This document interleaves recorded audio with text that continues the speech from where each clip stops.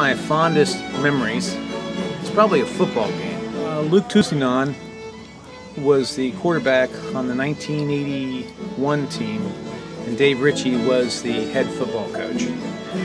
It was snowing so hard that it was actually snowing silver dollars, it looked like to me. And I'll, I'll never forget, good old Mike Rogers had two towels to cover the balls, and I asked Dave Ritchie at halftime if he wanted me to run down the hill and get towels so he could wipe off the balls.